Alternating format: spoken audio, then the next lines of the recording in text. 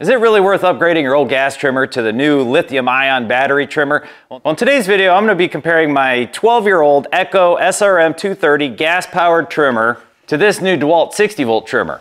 First, we're gonna compare the string, how long does it take to replace it, how much can it hold, and what's the cut width. Then we'll compare the weight, length, and balance of each one. Then we're gonna compare the max runtime of each trimmer. Then we'll compare the recharge versus refuel time, how easily each unit jams, noise, vibration, and a couple of other things. All right, well, let's get the show started. So I've got the recommended string for each trimmer. The Echo takes 95 thousandths and the DeWalt takes 80 thousandths. Both of these units have a speed feed bump head on it. Now, originally, the Echo came with a different style head unit on it, so I highly recommend that you get the bump style quick feed head. Uh, it just makes life so much easier as far as refill time. I suspect that this test is going to be virtually identical. However, I do, I am curious how much string each one can hold. They both claim to hold around 20 feet, so we're gonna check that. First, I'm gonna get rid of the string that's already in these, which on both of these quick feeds head, there's just little tabs here that you can pop open. The whole thing will come out, and you can just empty it out. So we're gonna clip both of these to the door here, measure out 25 feet and then uh, wind up as much of that as we can. And that's how we'll know how much they hold. Okay, there's 25. So winding these up is incredibly easy. You'll see a hole here and a hole on the other side. You just rotate this like that until you can see a hole straight through. Or this one actually has two lines right there. That one does not. So I line these up. Sometimes the line's a little too curly for it. There we go. And you pull it till it's even on both sides. Double check that we're even, which we're not. So I'll even that back out. There we go. Now we're even. Now this is the awesome part. You don't have to get tangled up at all.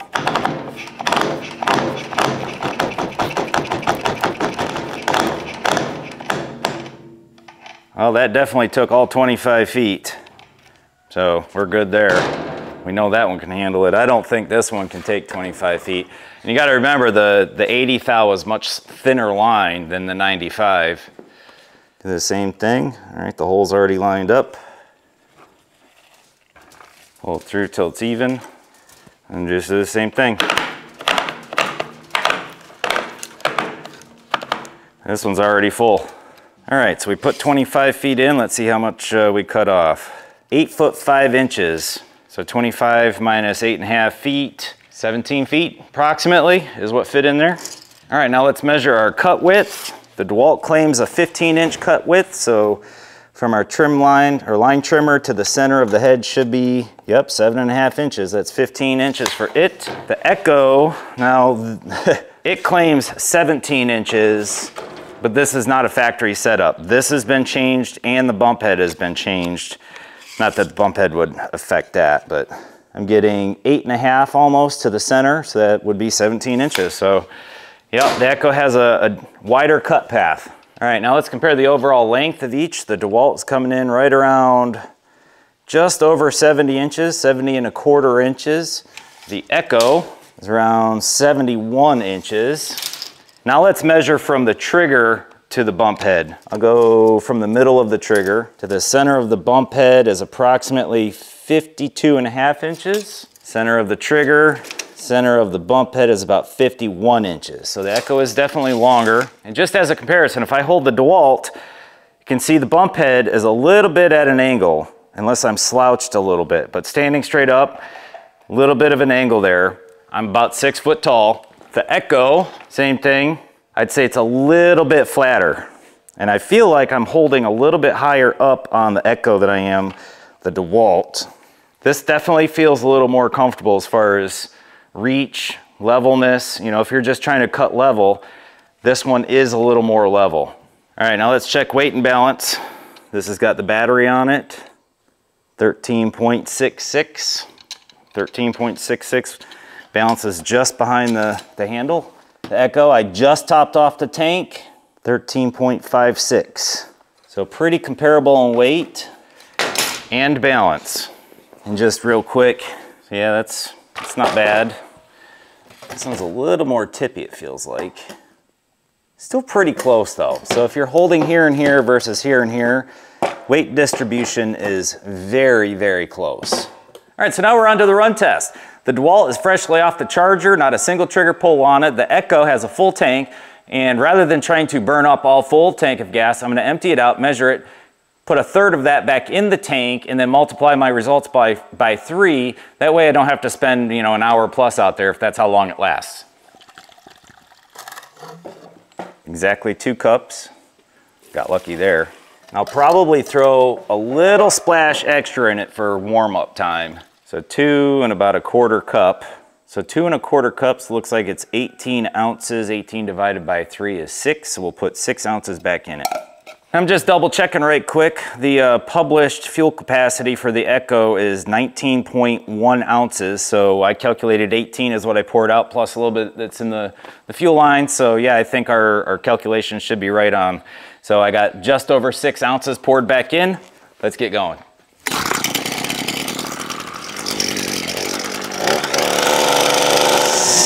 All right, here we go. Start the clock.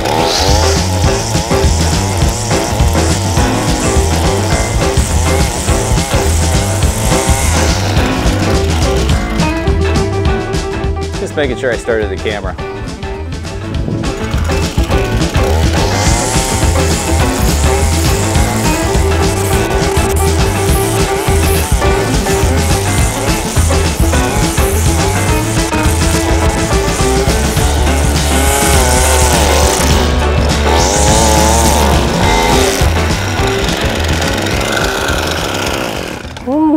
I think the DeWalt's gonna win the vibration test.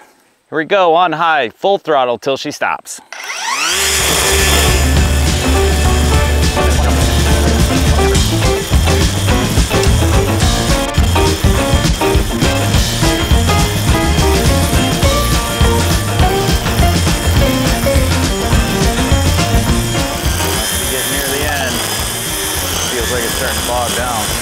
First time I've pushed this thing this far.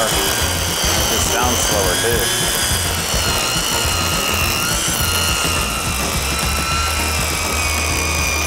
Okay, it basically can't cut anymore. So we'll let it sit for just a minute, and then I'll try a little bit more just to see what it can do. I mean, it's showing one bar. It might just be really hot too, which I'm sure it is. Let's check the temperature right quick. It's actually not that bad. So overall, I mean, the battery doesn't feel super hot. And it's only about 70 degrees out today. The motor doesn't feel hot at all. That doesn't. Gearbox, it's warm, not super hot. Did all right. All right, let's see if the DeWalt revived a little after just five minutes. And it's still at one bar. Let's see if it sounds any better. A little bit, let's try it. Nope. Nope, she's done. So as you can see, the DeWalt got almost three down and backs. The Echo on a third of a tank of gas had four full down and backs and they were longer stretches. So one tank in the DeWalt, or I'm sorry, one tank in the Echo is a lot more time running than the DeWalt. We'll talk more about that inside. So approximately 28 feet by 133. About 20 feet, 113. So something else I want to point out is the condition of these cut blades here. So these blades of grass, the ones that are cut, this is from the Echo trimmer line. They do look a little bit torn, but they also look a little bit cut. Okay, so we got DeWalt on the right, Echo on the left. The Echo trimmer line, to me anyway, seems like it did a better job at actually cutting. And it looks like the DeWalt did a lot more ripping. You can see the long strands there, all split. And just looking at the rest of them, they all kind of look that way. But that's pretty subjective there. All right, so obviously this test there's gonna be a clear winner and it's already a clear winner. So we'll hit the stopwatch right now. Plug this guy in and this is a standard DCB 115 charger. It's the one that comes with almost every single DeWalt battery. Well, that's going. Go ahead and get a secondary timer on the camera to mark down the 30 seconds it takes to refuel. Hopefully I can do it without spilling.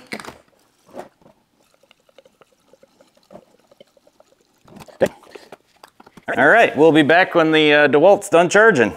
We're at 43 minutes right now, still charging. I'm assuming not much longer. Hour and 23 minutes, still charging. All right, so we're at an hour and 55 minutes. This is taking a lot longer than I expected. Uh, I got somebody showed up to check out something I'm selling, so I'm probably going to miss when it actually finishes. All right, so we're at two hours and 45 minutes. Somewhere while I was out trying to sell a truck, this thing finished up. So I'll split the difference and we'll go from there. So I figured I'd take a quick second here to show you the differences in the trimmer line. Now this DeWalt stuff, it's very rounded. All right, this is a used end right here. You can see how it's the black is mostly gone. This section here is not used a whole lot. And it's very round. So it would tend to rip more unless it was going really fast. The Echo, here's a, a less used edge of it, but the Echo has little sharp edges throughout. And here's a, a brand new chunk right here. See those sharp edges on there? Now, once they get worn in a little bit, like that's a used end right there that I just clipped off of it. And you can see it's starting to round off, but it's still got some flats on it. And personally, I think these cut better. And this Rino-Tuff stuff, and there's all sorts of different brands, but it's, it's very similar. It's got sharp edges that I personally think seems to cut the grass rather than rip the grass. There's triangular shapes. This one's actually triangular shaped versus the Echo, which is more like four-sided with edges on it. But there's all sorts of different brands. They have all sorts of different gimmicks to it. So, all right, so for the next test, we're gonna test the torque. And I tried using this digital torque meter and it just didn't register. Uh, this is the DeWalt right now. This is a oil filter uh, socket, wrench, whatever you want to call it, adapter. Happens to fit on here perfectly and then it catches on these little flanges here and both the DeWalt and the Echo spin left hand so it's actually perfect for this.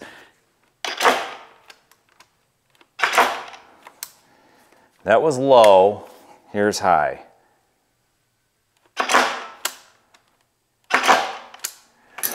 All right, Echo is warmed up. Here we go.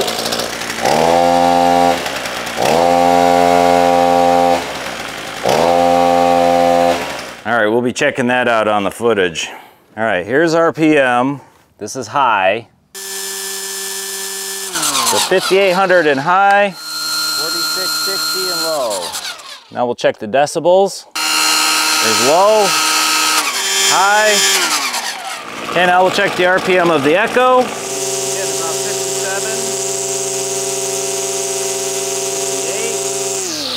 All right, now we'll check the decibels of the Echo.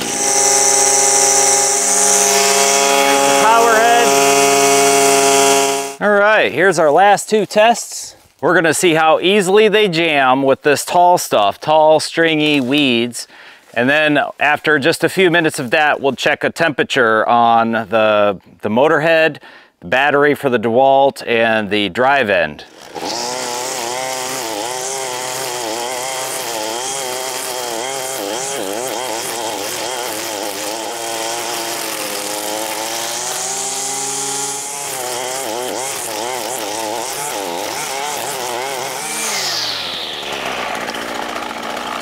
It's not even jammed. I'd say the uh, Echo did pretty good. Not a single piece stuck in there. Let's try the, uh, the DeWalt.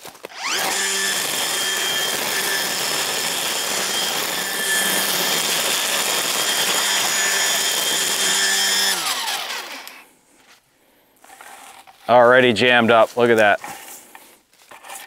And a lot of junk still smashed in there. And just to show you that's not a fluke, because I've been messing with this, this thing for a while now. And look how gummed up that is. I'll go back to that exact same spot with the Echo. And look how short that string is already.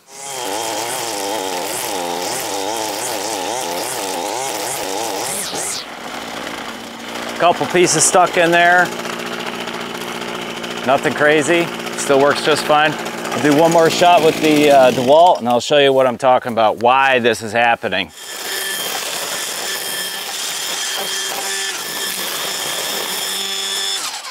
Yep, same thing. So let me show you the difference here. This did not happen a single time with the Echo. And yeah, it took a little bit longer that second time with the DeWalt. This is the difference. See this huge gap right here?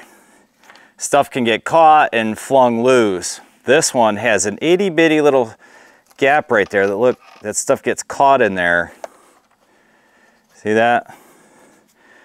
It's maybe, you know, just under a quarter inch thickness. This one doesn't have any of that. It's just one big wide open piece. See the difference? So this one, stuff gets jammed in there a lot. And then same thing down here, up under here.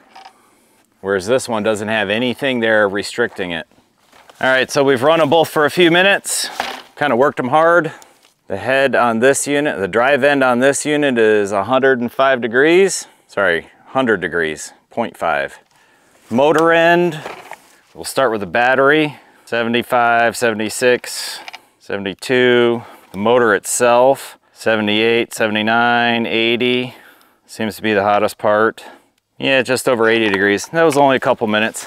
And it's not very hot here today. Echo 1025, couple degrees warmer, 103, 103.5. Now the motor part, the motor itself, obviously that's gonna be a lot warmer. 200, 204, 110, 270, straight on the metal exhaust. Uh, anywhere that might touch you, so when you're operating it right in here, so let's check that. The section right there, that is kind of warm. 139, 140, at plastics 140 and I will tell you it does hit you right there a little bit every now and then you know it's not crazy it's not gonna like burn your skin right off but it's not comfortable. Uh, the exhaust itself does occasionally swirl around in here so that's something to think about okay back in the shop. There's only one last little thing I want to check before we do the wrap up that's how far the back of the unit is from where my hand sits. About 12 inches? And it's 12 and a half, just a smidge longer. That was something I could feel, and you know, that's probably why it's a little, little more angled when it's, uh, when you're trying to cut. All right, so let's go ahead and take a look at the numbers, evaluate it. You can make your own uh, decision on what you think is best for you. Uh, personally, uh, I kind of like them both, you know, so uh, I can see advantages and disadvantages of each, uh, but let's just go through it real quick. All right, so let's talk about the big one first. Runtime and square footage covered by a single charge or tank of gas. The, the gas trimmer absolutely dominated. It's not even close. The, uh, the gas trimmer on a third of a tank went for 23 and a half minutes. So total time on a full tank would be about 70 minutes, 70 and a half minutes. And uh, compared to the, the DeWalt or the battery, now that's a, a nine amp flex hour battery. So we'll talk about that in just a quick second. Uh, but the, the battery went for 18 minutes and 40 seconds. Total runtime from start to finish, full charge. Now, like I said, 9 amp hour battery. They do make a 12 and a 15 amp hour battery. I'm not entirely sure that that would be a linear uh, equation to runtime. Uh, would you get that exact percentage more runtime? I'm not sure. Uh, maybe somebody else out there can tell us runtime on other equipment. Uh, anyway, so huge, huge difference. And when you look at the area coverage, the, uh, the battery operated did an area of 20 foot by 113 feet. That's 2,200 square feet of coverage versus the gas trimmer, which went 28 feet by 133 feet which is 3,700 square feet coverage with only a third of a tank. So we multiply that times three and we get over 11,000 square feet. So uh, the math there works out to about five times the coverage with the gas trimmer and one full tank of gas. And then if you think about that even further, we'll talk about recharge time versus refuel time. You saw refuel only took 30 seconds, you know, call it a minute, whatever. And the recharge time uh, it really sucks. I had somebody just show up. I have a truck for sale and they just showed up. So I, it was unplanned. So I ended up missing the exact uh, time that the battery took to charge. Uh, but it was somewhere in the ballpark of two to two and a half hours. Uh, that's, the, again, the 9 amp hour battery. Now, if you had two batteries, you could just swap one out back and forth. And uh, we'll talk about whether or not this is really important to you uh, here in a second as well. Uh, for max speed, RPM, no load, uh, the DeWalt on high uh, got 5,800 RPM and low it went 4660 ballpark. And the uh, gas trimmer was about 5,800. So high RPM, they're both the same. Uh, with that said, the trimmer head on the, the, the, gas trimmer, it's probably got more weight in it and the string is sticking out further. So that's a little bit more momentum and inertia. But I will say that the DeWalt did not slow down like the gas trimmer. So the battery didn't slow down like the gas trimmer did when I hit heavy uh, media, if you will, whether it's weeds, grass, doesn't matter, fence post. Uh, all right, so length, width, height, uh, balance, all of that is very, very close. I'd call that a wash across the board. One of the big things for me is the vibration. The gas trimmer, now mine is older, all right? It's much older and it's got a lot of use on it, so it's probably rattled loose quite a bit. Uh, but my hands were tingling really bad after using the DeWalt, or using the Echo, the gas trimmer, for what was it, 25, almost 25 minutes. Whereas the battery powered trimmer, super smooth, no vibration, really nice, really nice to use. So the battery definitely wins there. So something that uh, I've been dealing with with this Echo trimmer forever, and now I'm dealing with the same thing, is crap flying up in my face. And I didn't really get any footage of this, uh, but since I'm goofy foot, I hold the, the tool, you know, with the handle in my left hand and the trigger in my right hand, and then the left spinning head on it kicks stuff up. Now, if I held it uh, the other direction, which I'm pretty sure most people use, but I'm not sure to tell you the truth, this is totally subjective.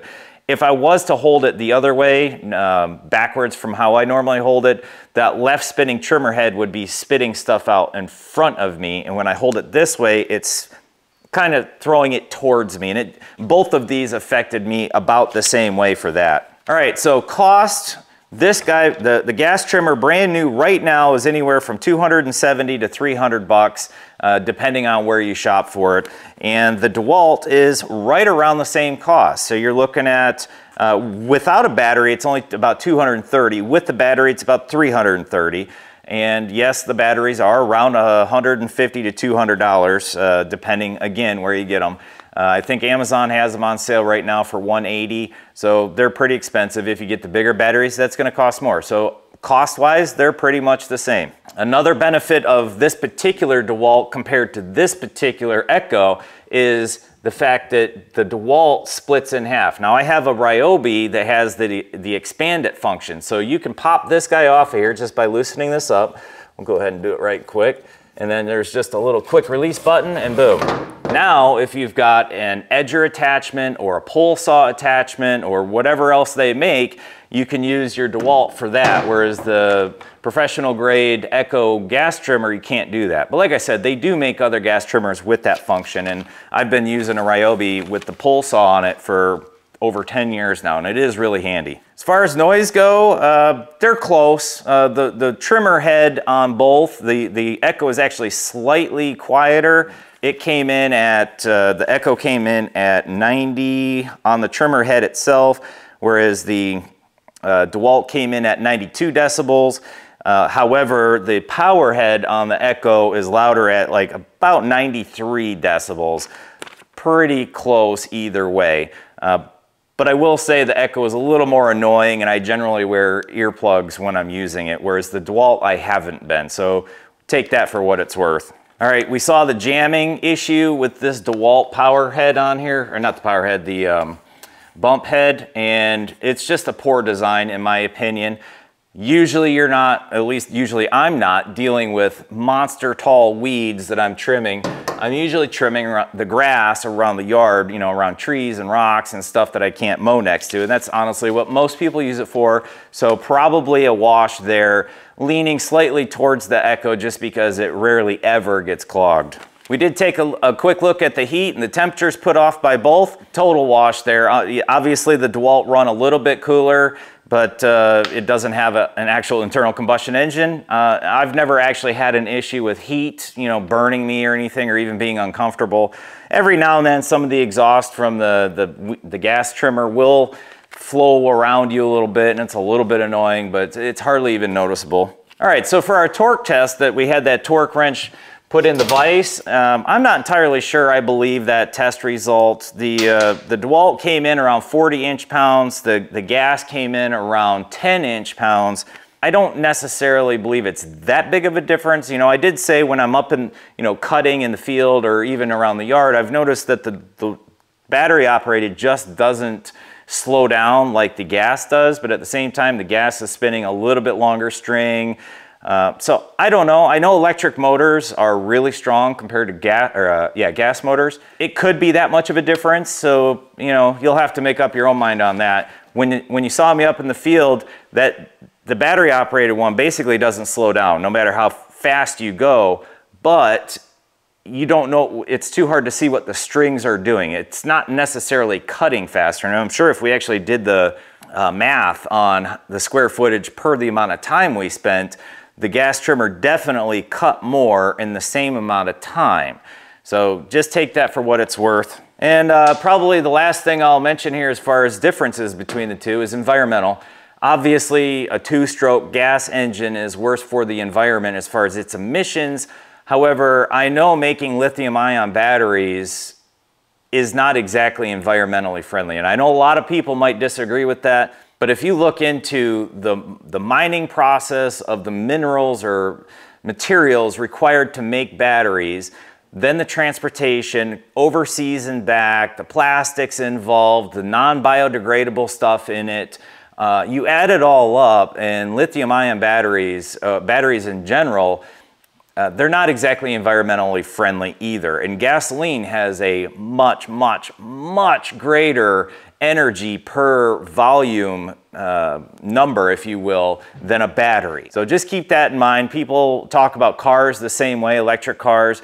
Electric, uh, electric car batteries, you talk about a carbon footprint that you can't get back. Uh, it would, you'd have to drive that car for probably 20 years to erase the carbon footprint of somebody like me driving a 95 Honda Accord for 15 years.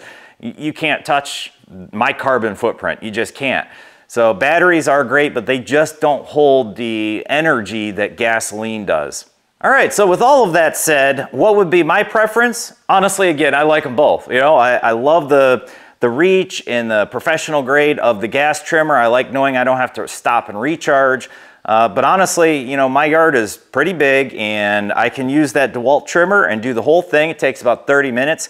Something I didn't mention throughout the video so far is that a huge advantage of the battery style is that when you're done and, you know, say you go around a tree and you're walking over to the next tree, you're not using any battery power during that time. So I've spent more than 30 minutes straight trimming around everything in my yard before I mow, and I still have two bars left on the battery when I'm done after 30 minutes. Where wide open test, we only made it 18 and a half minutes and boom, the battery was dead, right? That's not normally how you're using these trimmers. You, you hit the trigger, you know, clean up around something, and then you let the trigger go, walk to the next thing, you know, go along a fence, do the same thing. So honestly, the electric trimmer or the, the battery powered trimmer would be great for most people in most circumstances, but is it really worth upgrading? I don't think so, not for that cost. Now, if you get a cheaper one, maybe. Uh, even then, I, I would tend to disagree. I don't think it would quite be worth it unless you just really, really want one. Uh, another thing to think about, you know, I'm already invested in DeWalt, and that's actually why I got the DeWalt. I found it on clearance, and it came with the nine, and a, uh, nine amp hour battery. So if you're already invested in uh, Milwaukee or DeWalt or Ryobi or any of the big brands or the Ego, I think that's what it's called. Anyhow, if you're already invested in those and you happen to find one on clearance, it certainly wouldn't hurt to add it to your arsenal of yard tools. And plus you get the battery that you can use on other tools. So now I can use this on a little chainsaw I got, the leaf blower, uh, even the 20 volt tools can take the 60 flex volt. Well, I hope that helps everybody kind of make a decision. I know we're a little wishy-washy here and there, but there is definitely some clear differences, clear advantages of each. Uh, so you'll just have to make up your mind on what works best for you. Hey, thanks everybody for stopping by and checking out the video. Please take a quick second to hit them like and subscribe buttons. If you got any suggestions for future videos or comments on this video, please throw that down in the comments section and we will see you all on the next video.